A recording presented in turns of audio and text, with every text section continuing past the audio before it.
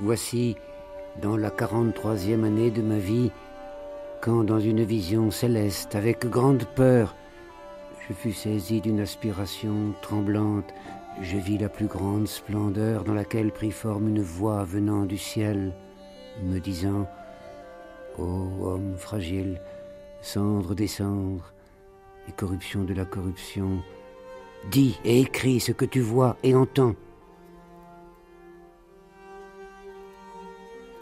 Ici parlait Hildegarde de Bingen, à qui aujourd'hui est consacrée une vie, une œuvre, imaginée par Claude Métra, Catherine de Seine, Anou Grimbert et Jean Menot lui donneront voix.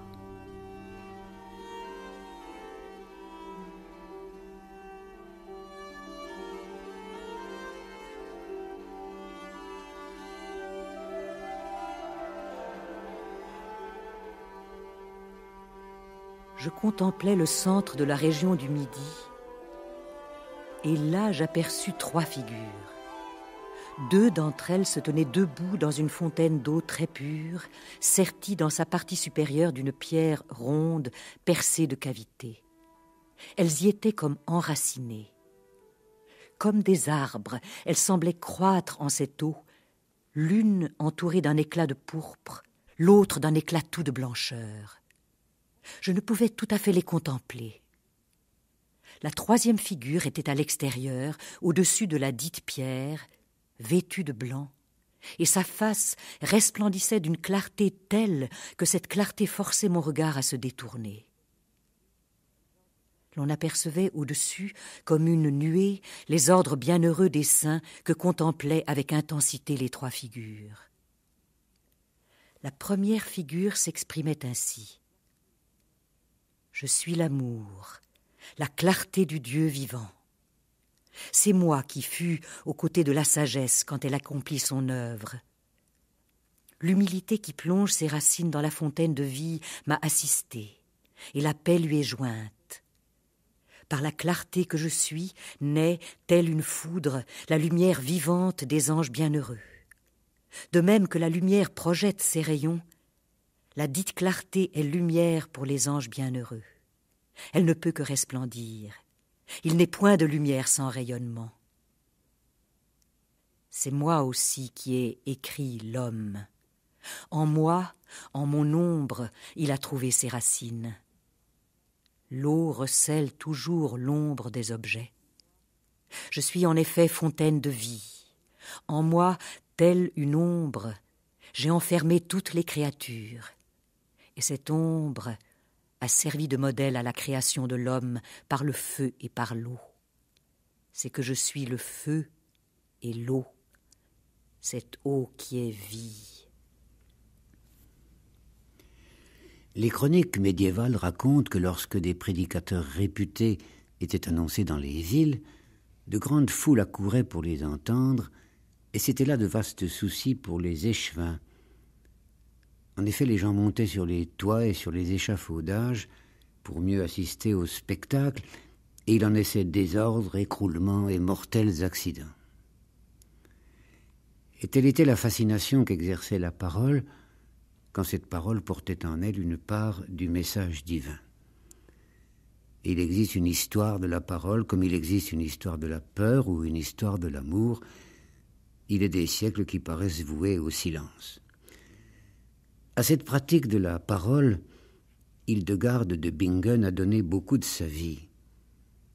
Selon les chroniques, elle va de Cologne à Trèves, de Metz à Bamberg, s'adressant aussi bien au peuple qu'aux moines ou aux moniales, car en son temps, les femmes aussi peuvent parler de Dieu. Bientôt, il n'en sera plus de même, et on pourra dire que les sermons d'Hildegarde constituent un phénomène unique dans l'histoire de l'Occident. Alors que fut cette parole il n'en reste point de traces. Mais l'œuvre écrite nous donne quelque image de ce qu'elle pouvait porter. Et dans cette œuvre, on observe une double tension. D'abord, une attention extrême à la réalité visible du monde, à la vie du corps triomphant et souffrant, aux multiples figures de l'existence matérielle et aussi de celle des bêtes, des plantes ou des pierres. Mais le monde invisible n'a pas pour elle moins de réalité. La terre et ses énigmes, le ciel et son mystère ne sont que les visages complémentaires de la création. Et il nous faut l'imaginer, petite fille, à l'aurore de ce douzième siècle qui vit l'Occident sortir de la longue confusion des temps obscurs. C'est une enfant des forêts. Elle est née en 1098 dans une famille de petite noblesse près de la ville d'Alzey, à quelques trente kilomètres du Rhin, entre Mannheim et Mayence, et c'est autour de ce fleuve que va s'édifier sa vie. Au dehors, c'est l'histoire avec ses tragédies. Dans tout l'Occident, la rumeur de la croisade avec son cortège de massacres, d'aventures, de folles espérances, et en pays allemand, la grande querelle entre l'Empire et la papauté. Et contre ces malheurs de l'histoire qu'engendre la convoitise des puissants et les délires des communautés qui sont écrasées par le dénuement, le XIIe siècle va imaginer deux voies de rédemption qui sont toutes deux des rédemptions par l'amour. D'un côté, le recours à la parole de Dieu, une aventure grandiose pour s'immerger dans la clarté du ciel, et c'est ce dont témoignera Hildegarde de Bingen, et de l'autre, l'invention de l'amour humain qu'incarneront les chantres de l'amour courtois, troubadours au sud, trouvères au nord. Mais entre ces deux routes, les croisements sont multiples. Trouvères et Troubadour font un détour par le cœur et par le corps de la femme pour trouver l'illumination divine, c'est-à-dire apercevoir un peu de la connaissance cachée.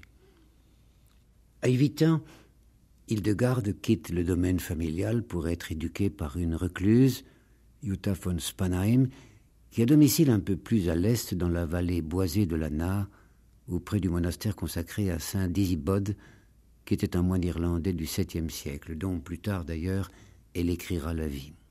Et c'est là qu'Hildegarde va devenir moniale dans l'ordre des bénédictines.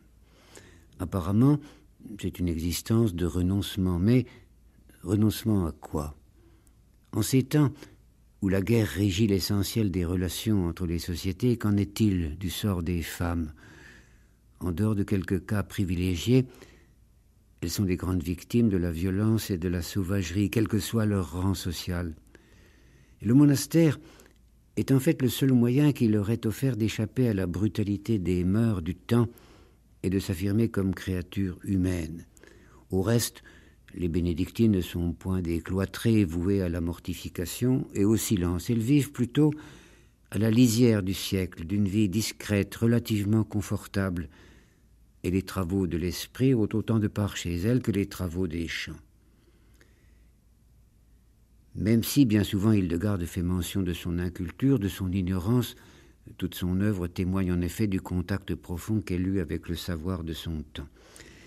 En 1136, à 38 ans, elle devient abbesse de Disibode, où il existait deux communautés, une de femmes et une d'hommes.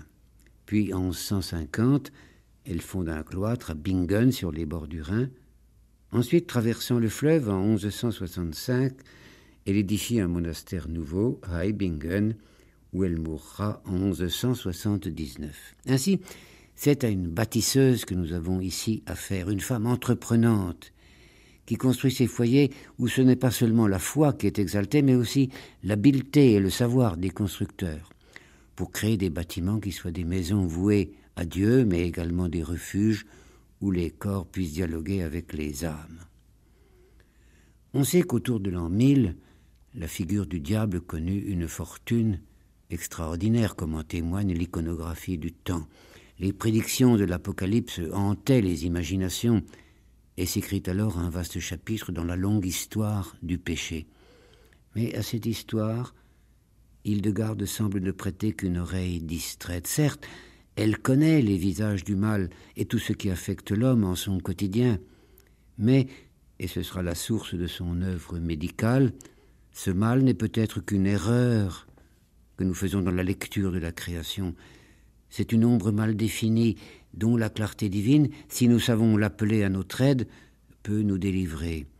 Car, de ce corps souffrant, l'âme est la compagne fidèle. L'âme occupe le corps avec la sollicitude d'un père de famille en sa maison. Il a toujours peur de la voir se détériorer. L'âme, de même, ne cesse de craindre que l'homme ne perde la sainteté de ses désirs dont elle est l'initiatrice. Cette âme est une énergie fructifiante. Elle communique à l'homme entier son mouvement et la vie. L'homme a un vêtement, un habit tissé. L'âme revêt comme un vêtement toutes les œuvres qu'elle réalise de concert avec l'homme. Elle s'en sert de couverture, des bonnes comme des mauvaises, comme du corps qui est sa demeure. Les œuvres bonnes, quand elle aura quitté le corps, resplendiront en elle comme un vêtement entièrement décoré avec l'éclat de l'or le plus pur. Les œuvres mauvaises, elles, sentiront mauvais, comme un habit souillé d'immondice. L'âme œuvre avec l'homme, comme l'air, qui envoie ses énergies sur terre, qui rend la terre féconde, qui lui permet de produire des fruits, et qui, par le froid de l'hiver, assèche la terre entière. En elle, cependant, elle conserve la chaleur de la terre afin d'assurer la fécondité de la terre. Ainsi les énergies de l'âme permettent à l'enfance, à l'adolescence et à la vieillesse de réaliser et d'achever les fruits des œuvres bonnes.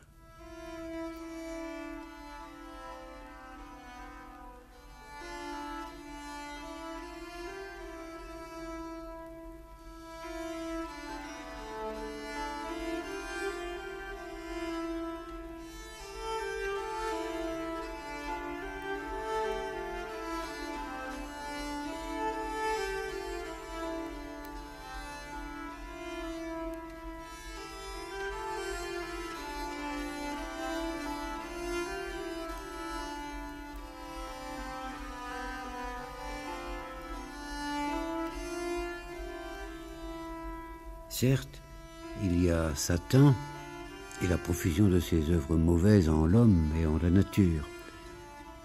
La lumière du ciel, en un sens, est comme la nôtre, fragile.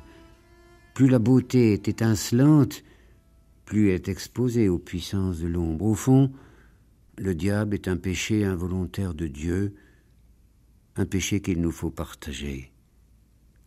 Quand Dieu créa l'homme, il le revêtit d'un habit céleste qui resplendit dans une grande gloire.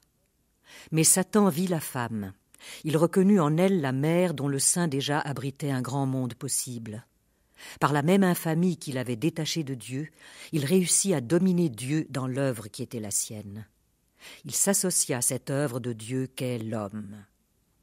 Une fois la pomme mangée, la femme se sentit devenir autre. Elle donna la pomme à l'homme, et tous deux perdirent leurs vêtements célestes. Or, quand Dieu dit aussitôt Adam, où es-tu? Il signifia qu'il se souvenait toujours avoir créé l'homme à son image et à sa ressemblance, et que son désir était de l'attirer de nouveau à lui. Quand il l'eut banni dans une complaisante sollicitude, il revêtit sa nudité. À la place de son habit étincelant, il hérita d'une peau de mouton, et le paradis se mua en exil. Dieu a lié la femme à l'homme par le serment de fidélité, qui jamais ne doit être rompu. Ainsi la femme et l'homme forment une harmonie qui ressemble exactement à celle du corps et de l'âme.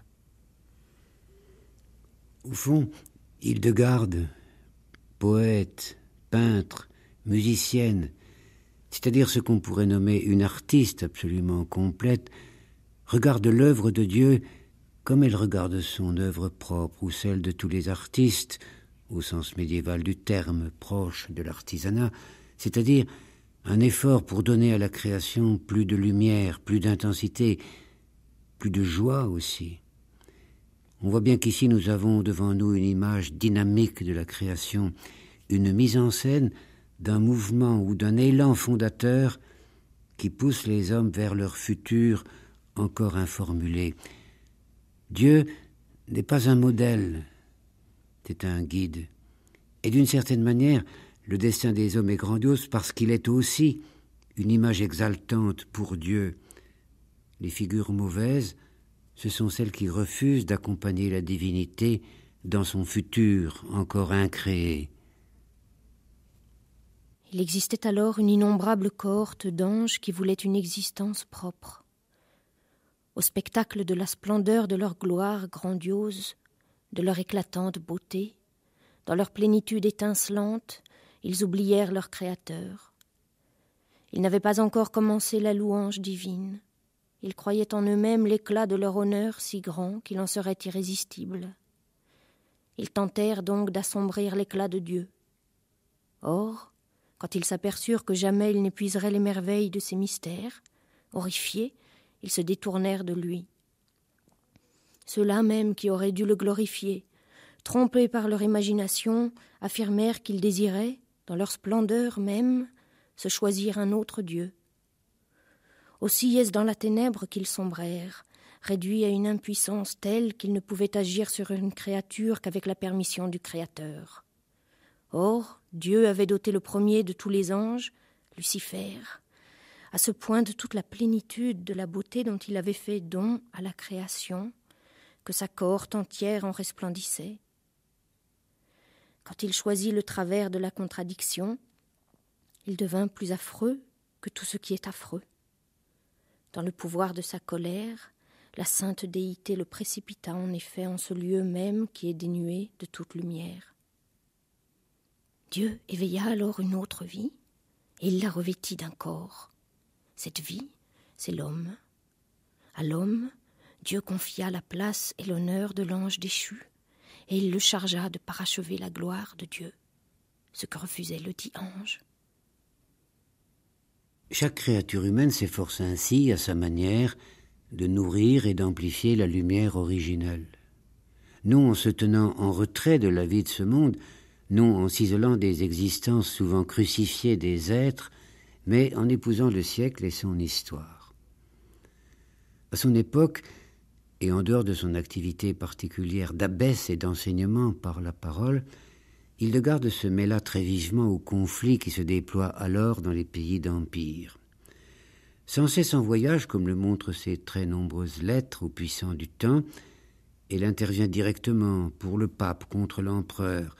Dans la longue lutte du sacerdoce et de l'Empire, elle exhorte Rome et ses papes successifs à défendre les droits du peuple chrétien.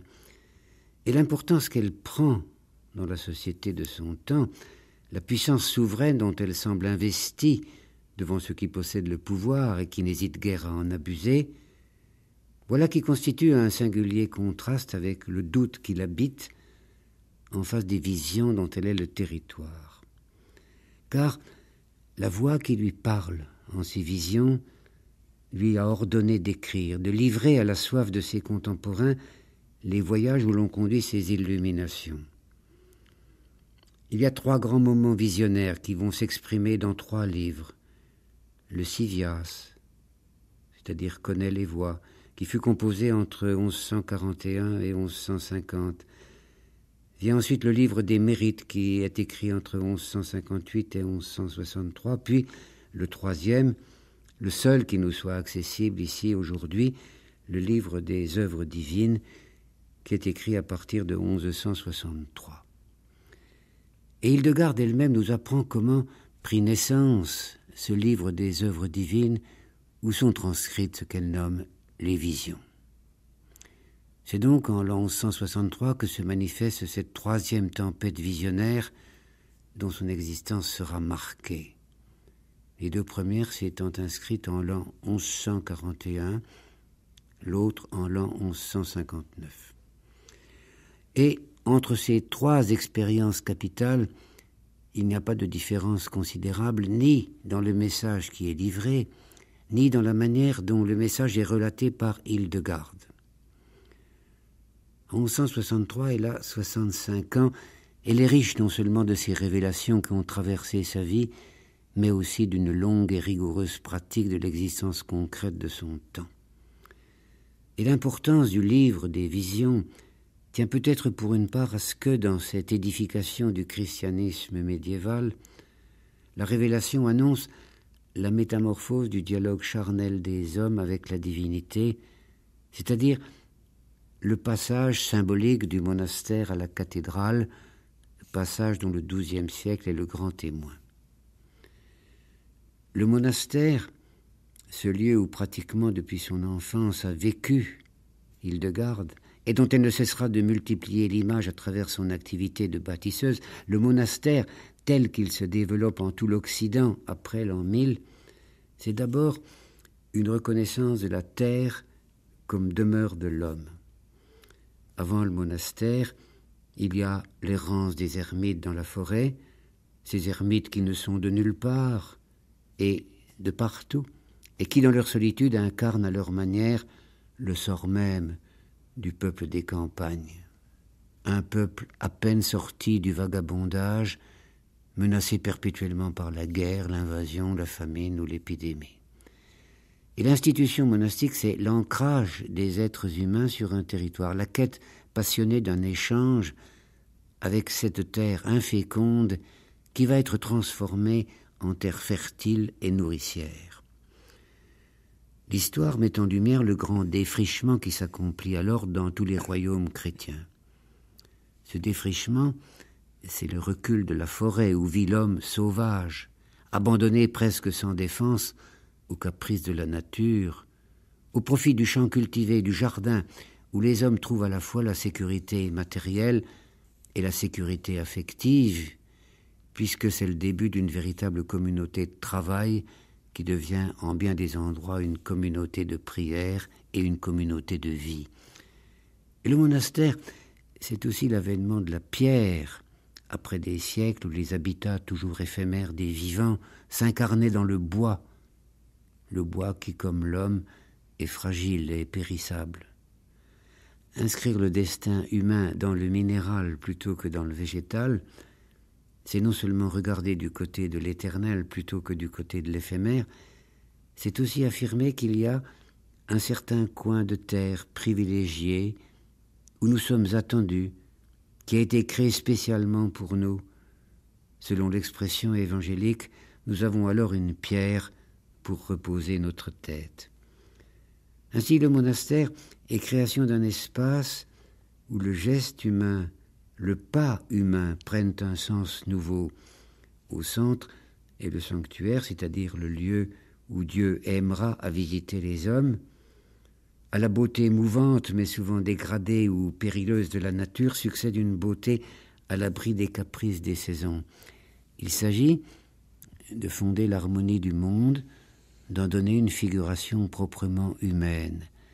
La nudité des murs, la régularité des édifices, la solidité de la construction, ce sont autant d'éléments qui permettent aux hommes de regarder leur propre création comme une suite de la création divine.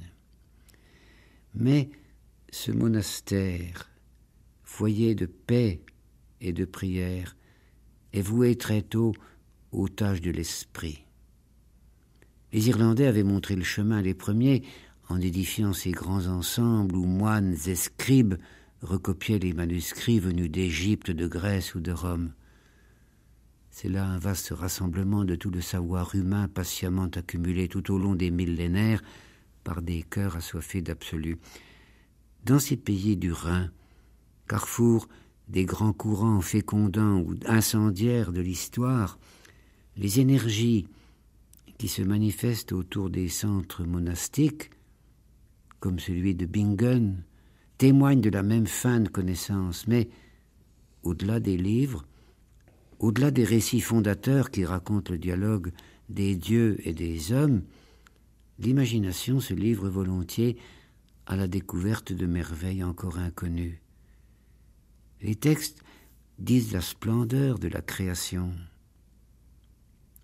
mais cette splendeur est sans limite au cœur humain d'en révéler la richesse ou de recevoir directement du ciel la révélation de cette richesse. Et en sa première vision, Hildegarde nous dit ce qui lui fut ainsi livré. Je contemplais alors dans le secret de Dieu, au cœur des espaces aériens du Midi, une merveilleuse figure. Elle avait apparence humaine. La beauté, La clarté de son visage était telle que regarder le soleil eût été plus facile que regarder ce visage. Un large cercle d'or ceignait la tête. Dans ce cercle, un deuxième visage, celui d'un vieillard, dominait le premier visage. Son menton, sa barbe frôlait le sommet du crâne. De chaque côté du cou de la première figure se détachait une aile. Ses ailes s'élevaient au-dessus du cercle d'or, au-dessus duquel elles se rejoignaient.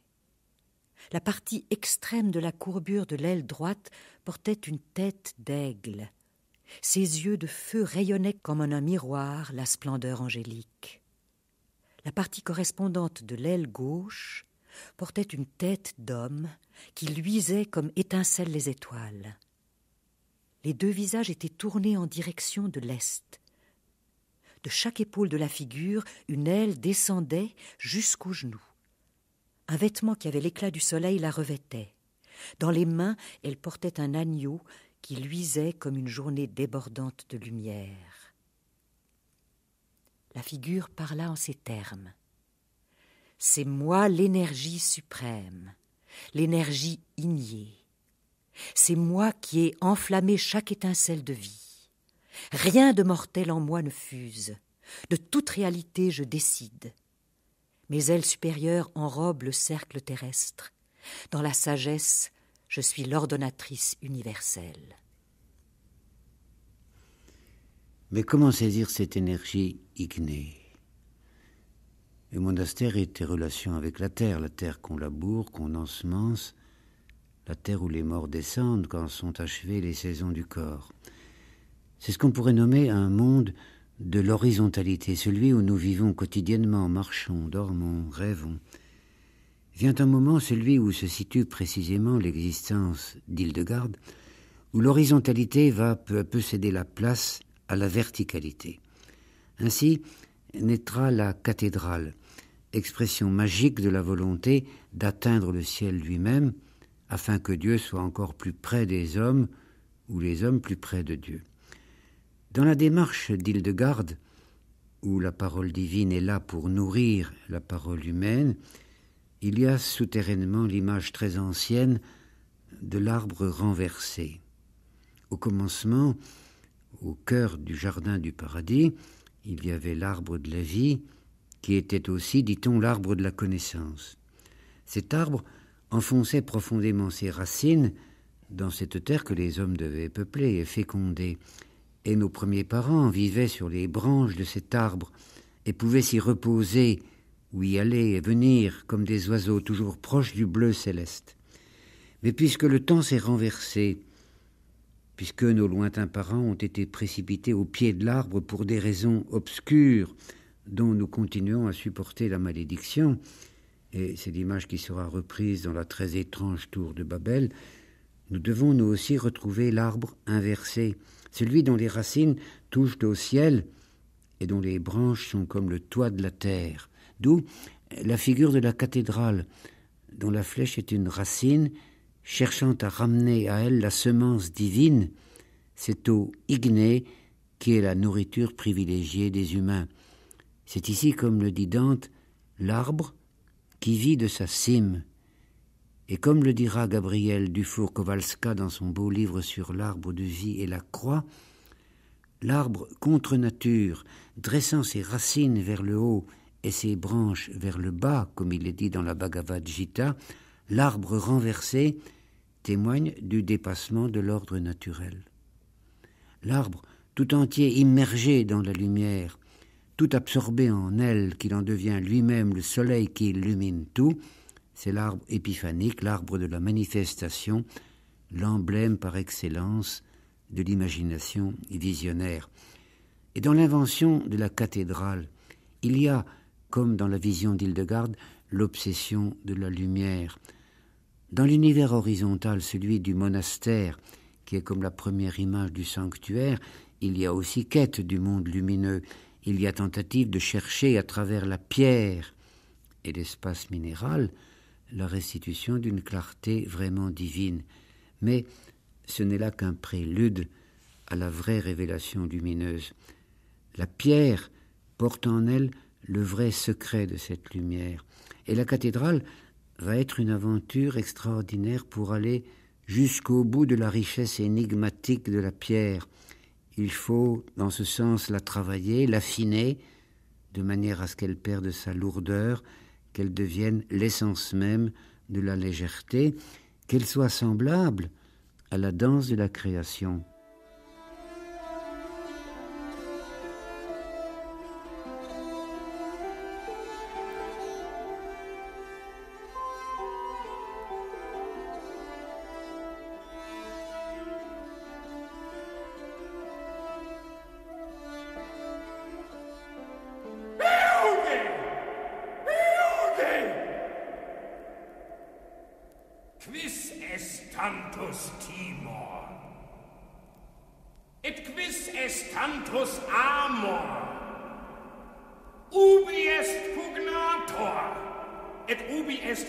unurator. Vos nestitis quid colitis.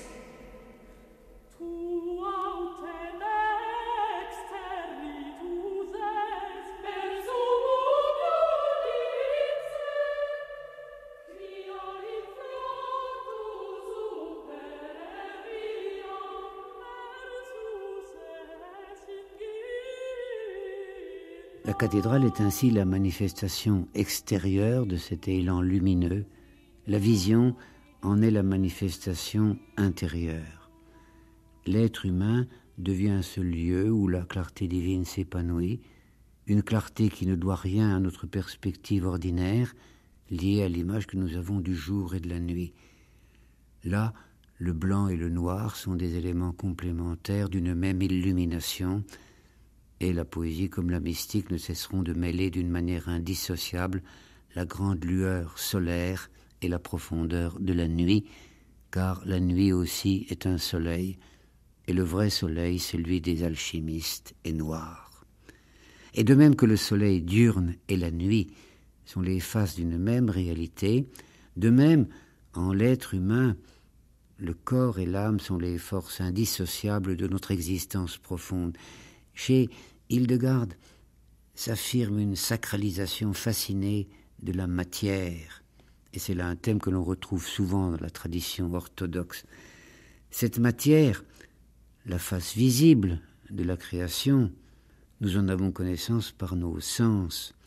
Ces sens sont les messagers qui apportent jusqu'à nous la parole divine. Si la matière est d'une manière ou d'une autre profanée, si nous ne sentons plus en elle le souffle du divin, c'est que nos sens ont perdu leur vocation première.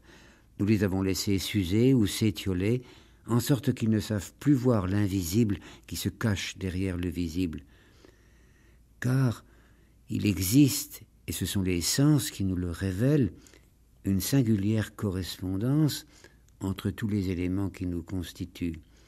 Et Hildegarde va construire toute une typologie signifiante du corps, ce corps qui est la maison de l'âme. Le sommet du crâne correspond au début de l'œuvre de l'âme qui dispose et qui ordonne par le mouvement circulaire de la raison toute l'œuvre humaine. Et cette âme, en tant que sommet, discerne dans le corps tout ce que ce dernier réclame et désire. Elle le réalise par les quatre degrés ascendants et descendants que sont la vue, l'ouïe, l'odorat et le goût. Et grâce à ces degrés, elle comprend et elle perçoit les créatures. Ainsi, son récipient charnel s'étend en même temps qu'elle vers les créatures, et sa volonté propre les attire à soi. Au côté donc de la créature qui se développe, l'âme vole comme l'air pour accomplir tous les désirs du corps. Connaissant le nom des créatures et en conformité avec le corps, elle développe à leur égard amour ou haine.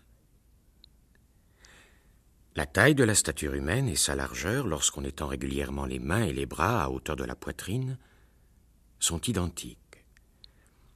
Cette égale mesure de la hauteur et de la largeur de l'homme correspond à la science du bien et à celle du mal à cette science qui reconnaît le bien en ce qui est utile et le mal en ce qui est inutile. Or, l'âme est prise au filet par le goût de la chair et du sang des autres membres, comme les bêtes par les chasseurs. Elle peut à peine respirer avant que le corps n'ait satisfait ses désirs. Ensuite seulement, elle éveille dans le corps ces soupirs qui montent vers elle. Dans cette exploration du monde visible, nous avons, nous dit Hildegarde, un double regard. D'un côté, par notre vue, nous avons connaissance de l'apparence sensible des choses. Mais, de l'autre côté, nous avons la vision, cette vision dont parfois le rêve ou la rêverie nous donne le pressentiment. Et cette vision nous éclaire sur la richesse symbolique du visible, sur tout ce que le visible recèle d'autre, comme si les images parfois indéchiffrables, qui errent à travers l'univers comme à travers notre psyché, cherchaient en nous des points d'ancrage pour nous informer ainsi de la plénitude de la création, une plénitude qui sans doute est d'abord poésie. L'homme, dans la structure du monde, est pour ainsi dire en son centre.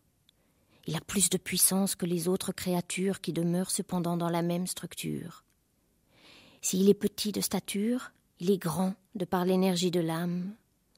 La tête levée et les pieds bien calés, il est capable de mouvoir les éléments d'en haut comme ceux d'en bas.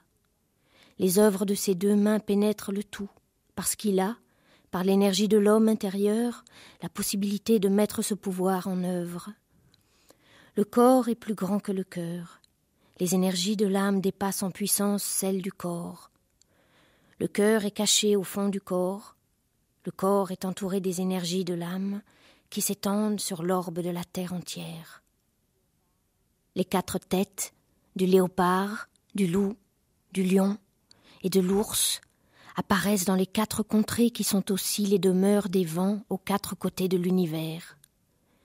Les quatre vents n'ont pas, bien entendu, cet aspect, mais leur énergie ressemble à la nature de ces animaux. En une certaine mesure, en effet, l'homme existe au carrefour des soucis du siècle. Il est l'objet d'une foule de tentations. Or, la tête du léopard lui rappelle la crainte du Seigneur, celle du loup, les châtiments infernaux, celle du lion, la crainte du jugement de Dieu.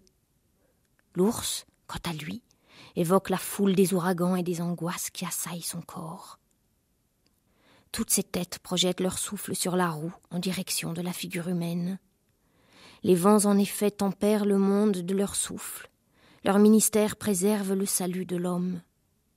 S'il n'était pas vivifié par ces souffles, le monde ne pourrait survivre, ni l'homme vivre. Découvertes sensuelles et voyages visionnaires se nourrissant l'un et l'autre, l'esprit de l'homme est ainsi propre à découvrir les vertus et les maux cachés de tout ce qui l'entoure. Et c'est ce qui dirige toute la quête médicale d'Hildegarde. Certes, aujourd'hui, sa perspective sur les thérapies naturelles nous conduirait peut-être à la placer à la source de certaines recettes magiques qui allaient au Moyen Âge connaître une grande fortune à travers le grand ou le petit Albert. Mais en réalité, ce qui mène Hildegarde, comme plus tard Paracels, c'est aussi une vive curiosité vis-à-vis -vis du savoir populaire. Le mal n'intéresse guère Hildegarde, et pas plus que le mal les sorcières ou les magiciens noirs qu'on verra proliférer plus tard.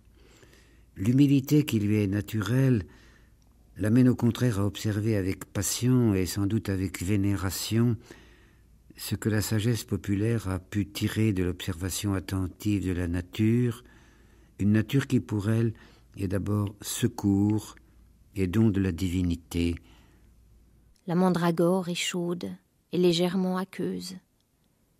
Elle est née de la terre avec laquelle Adam a été créé. Elle a quelque ressemblance avec l'homme, mais elle reste une plante. À cause de sa ressemblance avec l'homme, la présence et les ruses du diable se font plus sentir en elle que dans les autres. C'est pourquoi, grâce à elle, l'homme obtient l'accomplissement de ses désirs, qu'ils soient bons ou mauvais, comme il l'a fait parfois avec des idoles. Quand on l'arrache du sol, il faut la mettre aussitôt dans une fontaine, Quand on l'arrache du sol, il faut la mettre aussitôt dans une Ainsi, fontaine. Tout le mal et toutes les pendant un jour et une nuit. Ainsi, tout le mal et toutes les humeurs mauvaises qui sont en elle se trouvent évacuées, si bien qu'elle n'a plus aucune vertu magique ni fantastique. Mais si, quand on l'arrache, on la pose simplement avec la terre qui s'y attache sans la purifier dans une fontaine, elle garde alors des vertus dangereuses pour rendre de nombreux services aux magiciens et produire des visions, de même que parfois beaucoup de choses mauvaises ont été faites avec des idoles.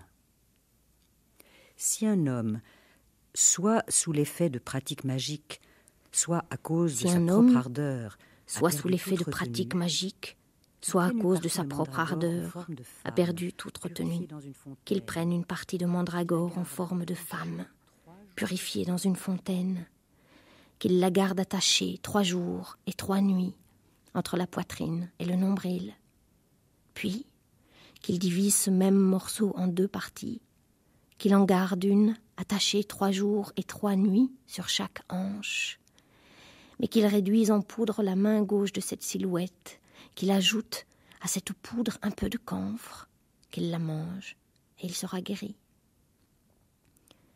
Si c'est une femme qui éprouve les mêmes ardeurs en son corps, Si qu'elle c'est une prenne entre femme sa qui éprouve poitrine les mêmes son ardeurs en nombril, son une corps, plante en forme de qu'elle mâle, prenne entre sa poitrine et son nombril une plante en forme de mâle, et qu'elle fasse avec elle ce qui a été indiqué plus haut, mais qu'elle réduise en poudre la main droite de cette silhouette, qu'elle ajoute un peu de camphre, qu'elle mange de cette poudre, comme il est dit plus haut, et l'ardeur s'éteindra en elle. La silhouette en forme de mâle donne des médicaments plus énergiques que celle qui a une forme de femelle, car le mâle est La plus silhouette fort en que la forme de femelle. mâle donne des médicaments Et si plus quelqu'un est énergiques par que celle qui a tempérament une forme de femelle, dans le car le mâle est plus fort que la femelle. la et la douleur, Et si quelqu'un est, de par tempérament, toujours triste, et toujours dans le chagrin, et a toujours le cœur dans la peine et la douleur, qu'il recueille de la mandragore quand on l'arrache, qu'il la mette dans une fontaine, un jour et une nuit. Une fois qu'elle est sortie de l'eau, qu'il la mette dans son lit à côté de lui, qu'il se réchauffe de la sueur de cette plante, et qu'il dise Dieu, toi qui as créé l'homme avec le limon de la terre, sans mettre en lui de la douleur, voici que je place à côté de moi cette terre qui n'a jamais péché, pour que la terre dont je suis composé connaisse l'état de paix qui est en elle et dans laquelle tu l'as créée.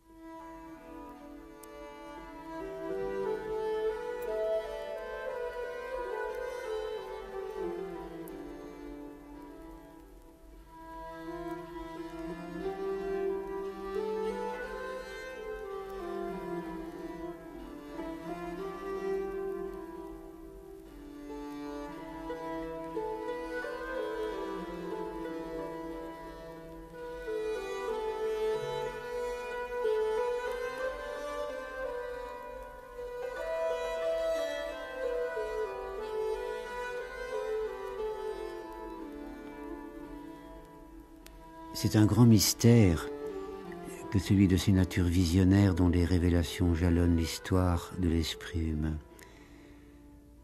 Chez Hildegarde, si l'on en croit ses contemporains, les moines Gottfried et Dieter, qui écrivirent sa biographie peu après sa mort, ce singulier privilège se manifesta alors qu'elle était encore dans le ventre de sa mère. Il n'y a là rien d'étonnant, mais c'est un continent dont les rivages ne nous sont pas accessibles.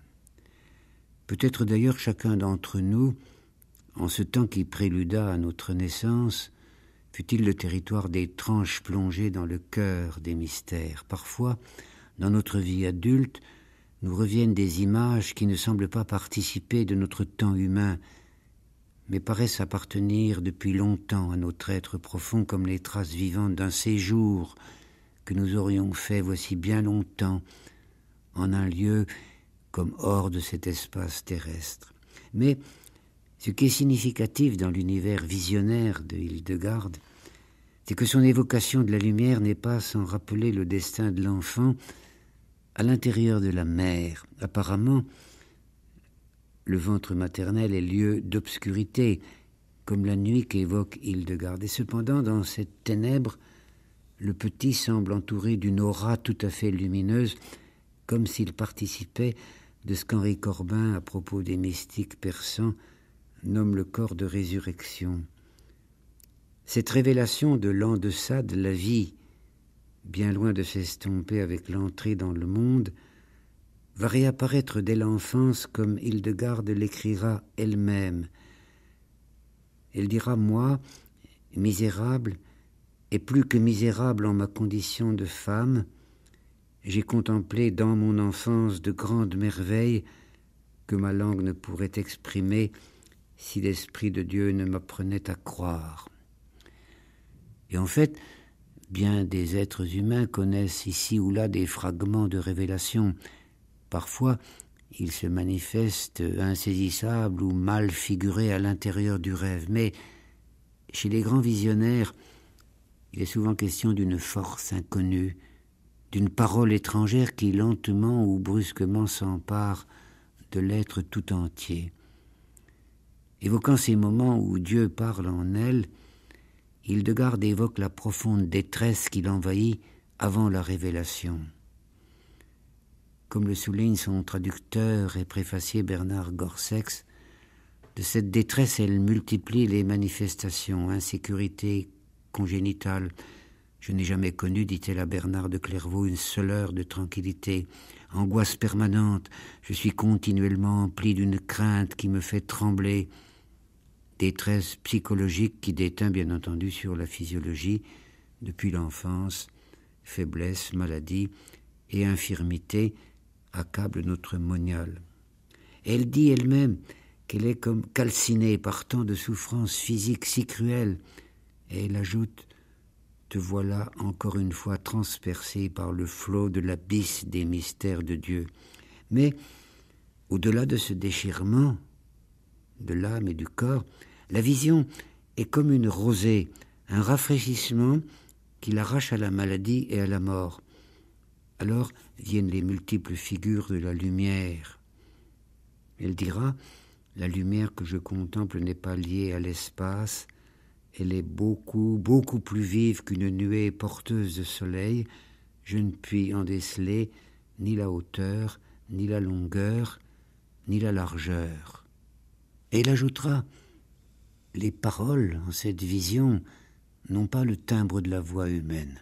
Elles sont comme une flamme qui lance des éclairs, comme un nuage qui évolue dans la pureté de l'éther. Je ne puis reconnaître la forme de cette lumière, l'on ne peut sans dommage contempler le disque du soleil.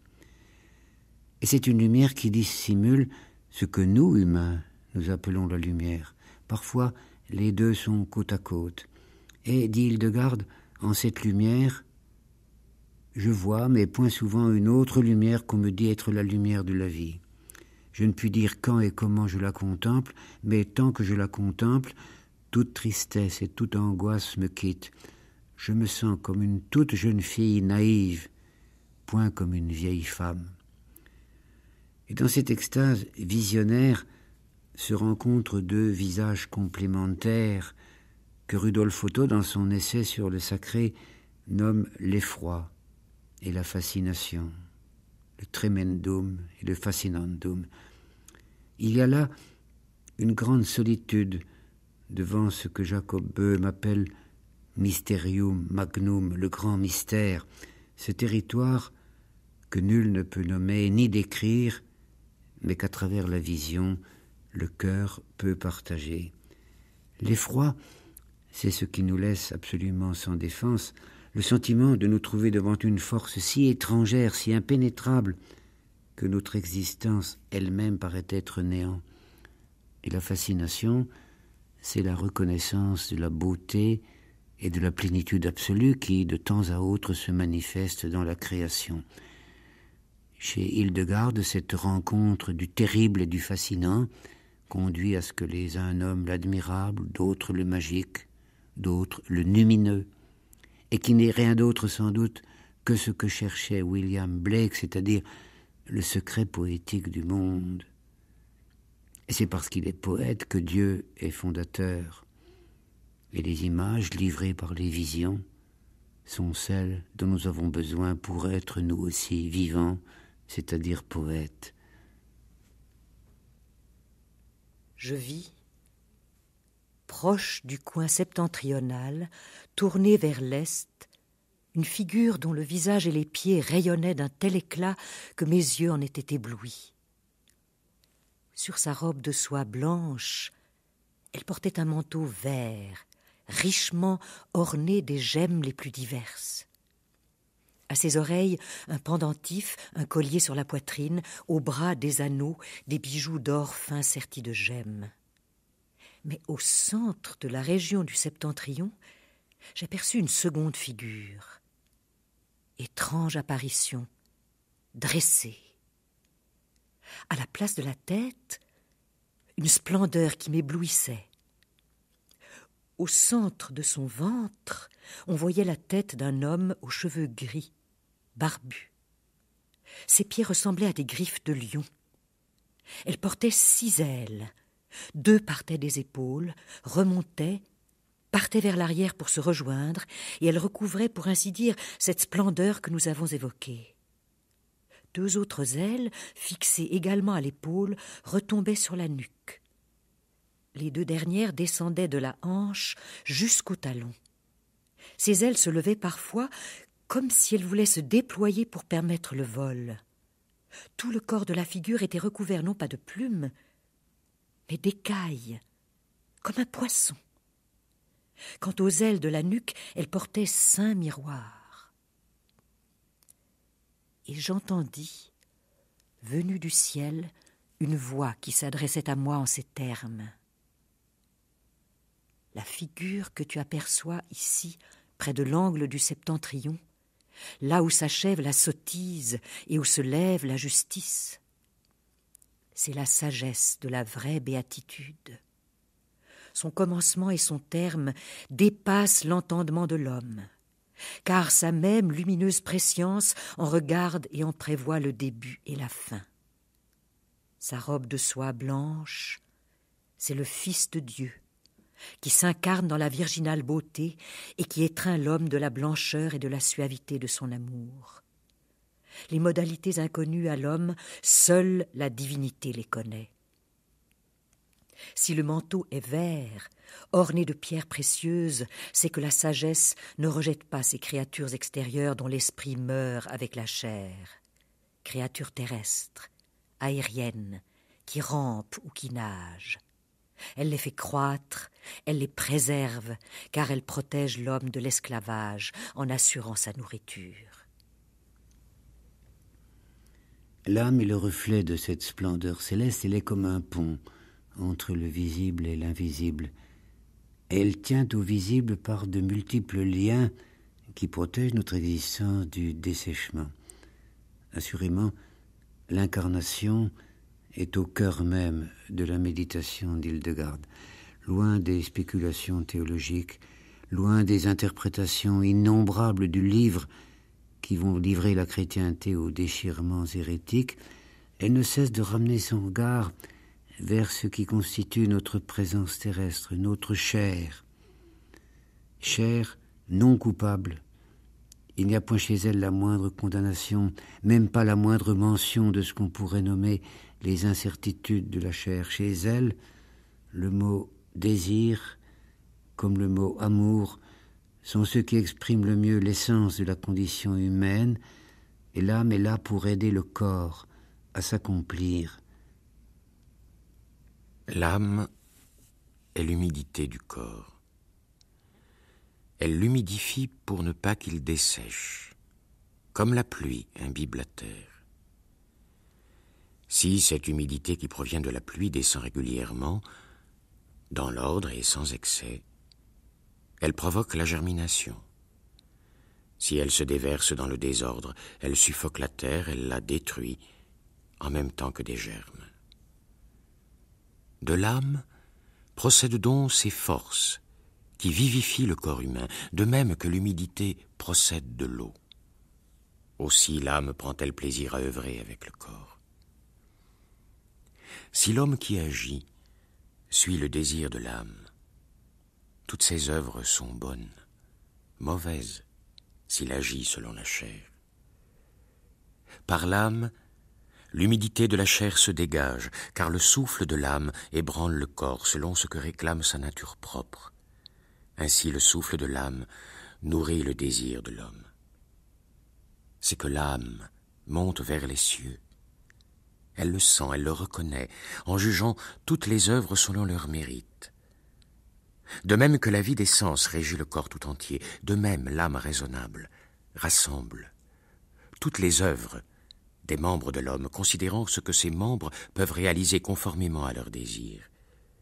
Elle fait donc germer en quelque sorte les membres de l'homme, comme l'humidité fait germer la terre, car elle est épandue par tout le corps de l'homme, comme l'humidité par toute la terre.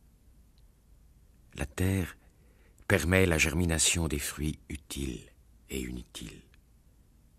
L'homme, lui aussi, recèle en lui l'aspiration au ciel.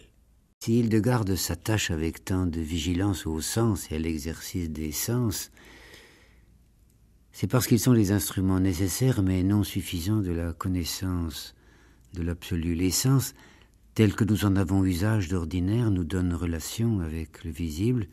Nous pouvons traduire concrètement le message qu'ils nous livrent. Et ce que Rimbaud appellera le dérèglement des sens, c'est une tentative pour aller au-delà de ce message, comme si, effectivement, par l'intermédiaire de notre propre corps, au-delà de nos sensations et de nos émotions, une part du visible pouvait nous être révélée. Il me semble que dans cette errance vers la connaissance divine, le socle fondamental sur lequel va s'appuyer Hildegarde, c'est la musique. Dès sa toute petite enfance, elle participe activement aux liturgies multiples du monastère. Nul doute qu'elle ait tenu une place privilégiée dans les chœurs, qu'elle ait été appelée comme soliste dans les cérémonies rituelles. Or, cette expérience de la musique pour un enfant inspiré est toujours bouleversante car c'est par elle que le monde révèle sa dimension cachée. C'est elle qui, en atteignant ce que le cœur a de plus profond, fait naître dans une sensibilité neuve les larmes et l'extase. Et c'est là sans doute qu'Hildegarde, lentement, va découvrir cette harmonie cachée dont l'obsession va nourrir tout son périple. Au commencement était le Verbe, et le texte de Jean va éclairer très précocement sa contemplation. Il y a des enfants chez qui la musique conduit à une rêverie vague, qui nourrira les nostalgies de l'adolescence et de la maturité. Et il en est d'autres, et c'est sans doute le cas d'Hildegarde, où la musique amène un flux d'images somptueuses, à la fois fantastiques et provocantes, à travers lesquelles l'esprit cherche à donner non seulement un sens, mais aussi une organisation à son propre cœur. Organisation qui trouve son double dans la pratique même de la musique, où les voix, les instruments et les divers modes de lecture interviennent d'une manière qui ne laisse rien au hasard. Et les compositions musicales d'Hildegarde, qui sont heureusement maintenant offertes à notre curiosité, montrent combien cette rigueur de l'esprit comme une mise en place de l'imaginaire dont l'absence de rigueur nous expose à de grands dangers. On sent bien à quel point cette musique est aux yeux d'Hildegarde la souveraine protectrice de l'âme. On pourrait dire, en utilisant le vocabulaire d'aujourd'hui, une thérapie pour tous les désordres auxquels notre esprit est exposé. Faire parler la musique du monde, telle qu'elle s'exprime non seulement dans les cœurs imaginés des anges, mais aussi dans les merveilles de la vie naturelle, c'est l'objet de l'immense recherche d'Hildegarde, car cette visionnaire est aussi une encyclopédiste, une des premières à tenter de rassembler le savoir dispersé de son époque, et ce sera l'objet de deux traités qu'elle rédigera vers 1150. Le premier, Causer et Courer, traite des causes et des traitements des maladies, et le second, Physica, s'occupe de l'être intérieur des différentes natures de la création. Ainsi en parle-t-elle du moins. Et dans cet amoncellement de recherche éclate toujours le souci fondamental d'Hildegarde, un souci qui se retrouvera plus tard chez Paracels, révéler à quel point la création est faite pour l'homme, Et quelle possibilité est la sienne de trouver dans la nature et en lui-même tous les instruments de son salut, salut de son âme, certes, puisque la foi divine est la flamme fondamentale, mais aussi salut de la chair, celle des hommes et celle de la nature tout entière. Car ce qui va constituer la toile de fond de cette œuvre fondée sur la révélation, c'est un prodigieux amour de la vie. Au temps de sa prédication apparaissent d'abord dans le nord de la France, puis dans les Flandres, les premiers ferments de ce qui deviendra le catharisme. Et la condamnation qu'elle va porter sur ceux qui deviendront plus tard les martyrs de l'hérésie tient précisément à l'anathème que ces hommes purs jettent sur la chair, sur la matière. Hildegarde n'étant rien proche de ces ascètes qui cherchent la lumière dans la fuite du monde et le mépris de la chair. C'est dans l'intensité même de la vie présente que peut être dévoilée l'intensité du feu divin.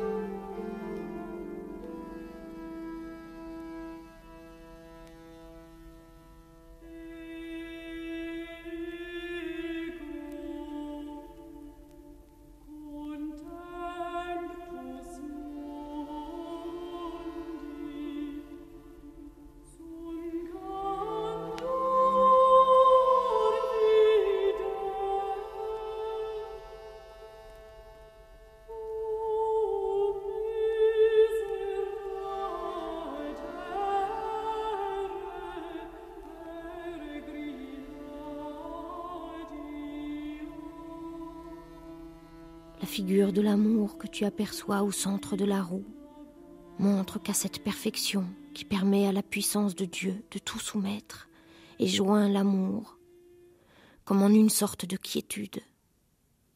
C'est que l'amour accomplit la volonté de Dieu tout entière.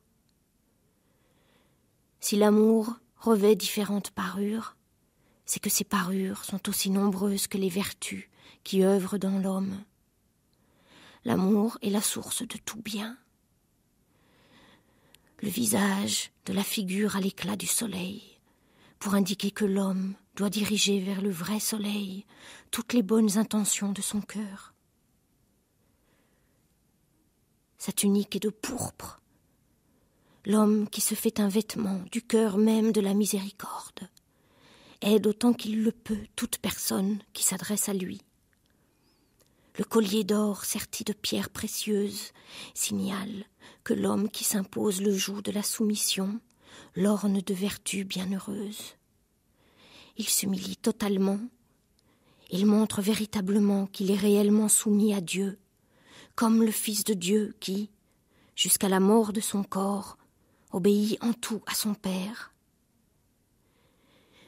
Si ses sandales ont l'éclat de la foudre, c'est que toutes les voies que suit l'homme sont dans la lumière de la vérité, afin que l'homme suive les traces de Christ, afin qu'il demeure pour les autres un exemple de rectitude et de fidélité. Après toutes les créatures, Dieu créa l'homme, afin que l'homme n'eût aucun manque à subir une fois formé. Il donna à l'homme la lumière de l'esprit vivant, il le consolida merveilleusement des deux modes particuliers, afin qu'il fût feu et flamme. Le feu dans l'âme et dans la raison, cette flamme qui jaillit du feu. La flamme de la raison sait où elle doit opérer après le baiser de la grâce. Au-delà de notre propre corps, c'est le corps du monde tout entier qui est notre compagnon dans l'ascension vers la lumière. Et il n'est point jusqu'au temps lui-même, avec ses saisons et ses mois, qui ne soient liés intimement au destin humain.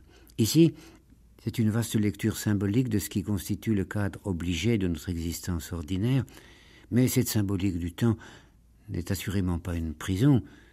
À chacun semble nous murmurer Hildegarde de choisir sa propre saison, qui est la saison du cœur, puisque le temps aussi est amour. Dieu a consigné dans l'homme toutes les créatures.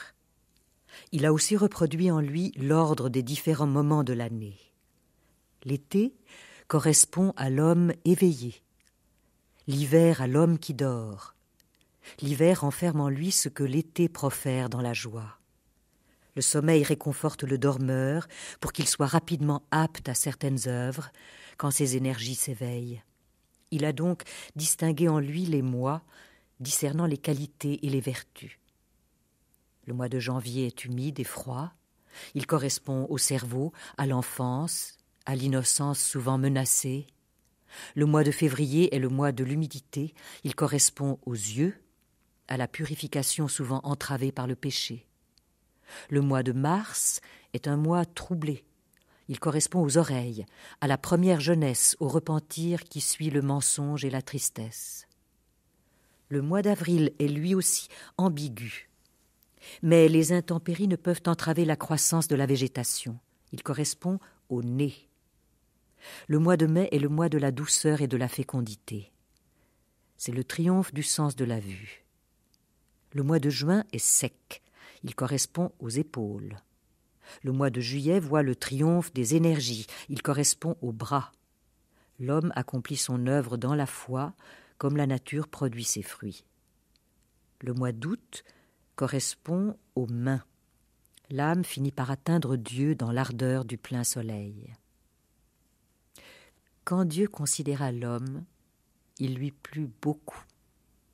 Ne l'avait-il pas créé à sa ressemblance et selon la texture de son image? À l'homme de proclamer par l'instrument de sa voix de raison la totalité des merveilles divines c'est que l'homme est la totalité de l'œuvre divine, et Dieu est connu par l'homme puisque Dieu a créé par lui toutes les créatures, et puisqu'il lui a accordé dans le baiser du véritable amour et par la raison de le célébrer et de le louer.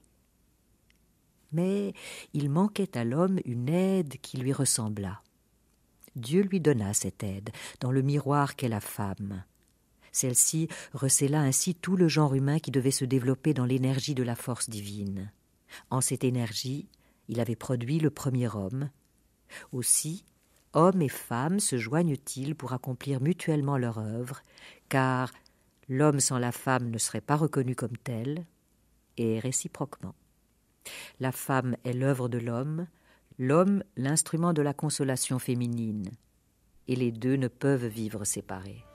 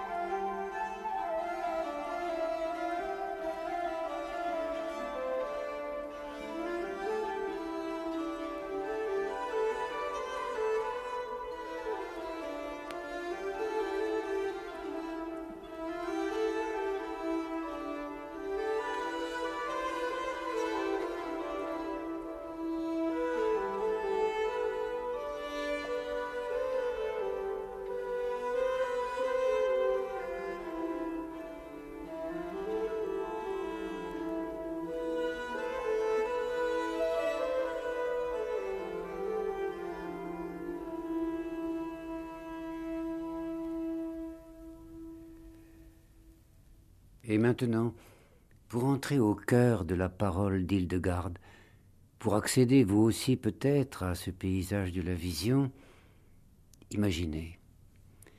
Imaginez que c'est une belle nuit d'hiver où les étoiles cherchent leurs reflets sur la terre neigeuse. Imaginez que vous allez vers le minuit à travers la ville désertée.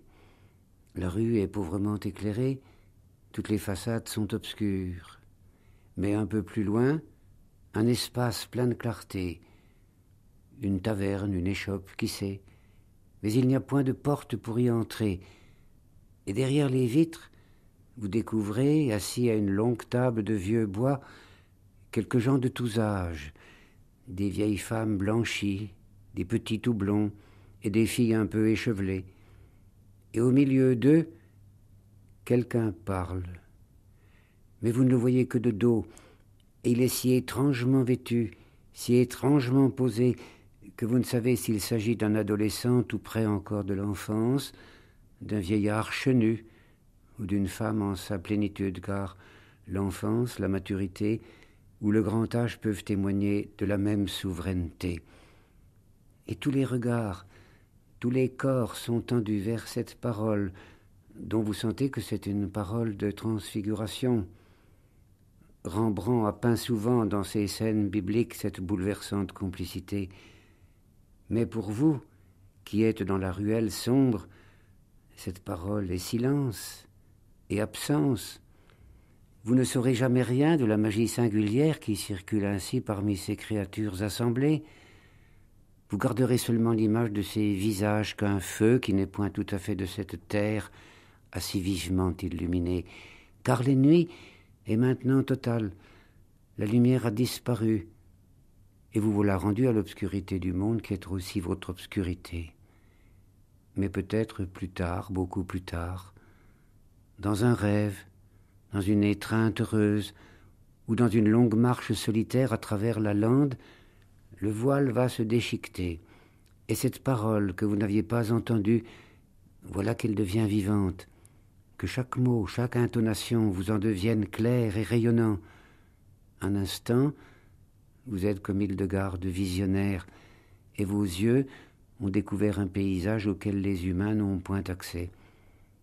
Et cette vision fugitive vivra avec vous désormais comme la trace brûlante d'une étoile qui vous a murmuré quelque chose du grand secret. Cette expérience fut celle d'Hildegarde, non point un jour seulement comme il nous arrive à nous, mais tout au long de son existence terrestre. Et à travers cette expérience, elle nous parle de son propre secret, mais aussi de notre propre secret, et elle nous découvre un peu de cette joie qui est en nous et que nous ne savons pas mettre dans la lumière. Dans une de ses visions, elle rencontre les quatre chevaux de l'Apocalypse. Le cheval blanc qui vient de l'Orient et qui symbolise le temps du paradis. Le cheval rouge feu qui représente la discorde et la guerre entre les hommes et entre nous-mêmes. Le cheval noir qui témoigne de la souffrance et de la mort dans nos vies déchiquetées. Et le cheval verdâtre qui symbolise l'enfer, c'est-à-dire l'angoisse et la désespérance, et ces quatre chevaux cohabitent en chacun de nous, nous écartelant dans les quatre directions de l'espace. Mais, nous dit Hildegarde, ces chevaux ne sont que des figures chimériques qu'engendre en nous la peur de n'être que ruine et cendre. Et si nous sommes assez téméraires pour savoir qu'en nous circule une parcelle de souffle divin dont naquirent la lune et le soleil, et la splendeur des pierres et des plantes, alors nous trouverons cet esprit du monde qui est, selon Hildegarde, une rosée rafraîchissante, une fontaine de vie où s'épanouit à jamais la fleur du salut. Je vis comme une roue d'une surprenante amplitude qui ressemblait à un nuage blanc et qui était tournée vers l'Orient. Cette roue était coupée en deux par une ligne transversale qui se déployait de gauche à droite comme la respiration d'un homme. Dans la moitié supérieure de la roue, du sommet jusqu'au milieu de la dite ligne, on voyait descendre un rayon, comme une aurore rougeoyante. La partie supérieure de la roue, du côté gauche jusqu'en son milieu, émettait une couleur verte, et du côté droit jusqu'au milieu, une couleur rouge. Les deux espaces qu'occupaient ces deux zones colorées étaient identiques. La moitié de la roue située au-dessus de la ligne transversale était d'un blanc mêlé de noir. Or, voici qu'au milieu de la roue et sur la ligne dont je viens de parler apparut, trônant, une figure qui m'avait été auparavant présentée comme étant l'amour. Sa parure était cependant différente de l'apparition précédente. Son visage resplendissait comme le soleil. Ses habits avaient la splendeur de la pourpre, et elle portait un collier d'or orné de pierres précieuses. Ses sandales avaient l'éclat de l'éclair. À la hauteur du visage, elle tenait une tablette qui brillait comme du cristal. Cette tablette portait l'inscription suivante Je me manifesterai dans la beauté, tel l'argent, car la divinité, qui ignore le commencement, possède une grande clarté. Mais tout ce qui a un commencement connaît des contradictions angoissées et ne peut saisir les secrets de Dieu en pleine connaissance. Hoc audiant et intelligant omnes populi, qui regnum Dei in regeneratione spiritus et aquae intrare volunt, secundum quod eis in sancti scripturis perdonum spiritus sancti propositum est sed qui vigilantibus oculis videt et attentis auribus audit hic mysticis verbis meis quede me vivente emanant osculum amplexionis previat.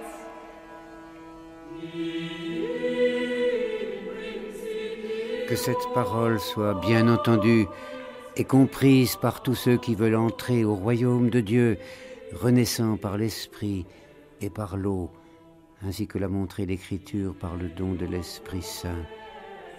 Mais celui qui regarde avec des yeux vigilants, écoute avec des oreilles attentives, qu'il accueille les paroles mystiques qui coulent de moi, l'être vivant, qu'il reçoive le baiser de mon étreinte.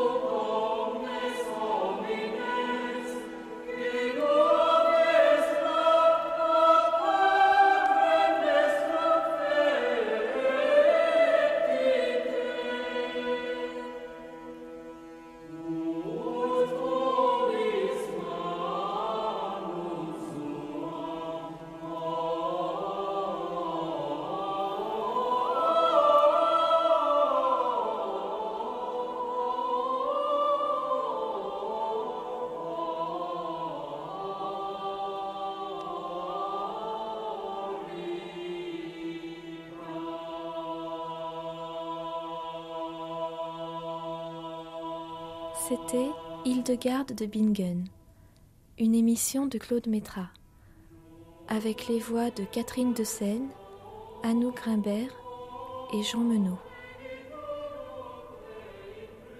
Prise de son et mixage, Pascal Bénard, Nathalie Fado. Réalisation, Claude Guerre.